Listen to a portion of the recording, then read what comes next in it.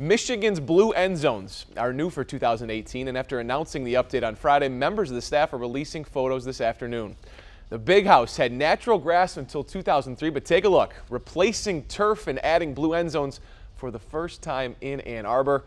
The program getting ahead of anybody who's going to disagree with tradition, pointing out U of M has had blue end zones before for many bowl games over the years, most notably the 1998 Rose Bowl.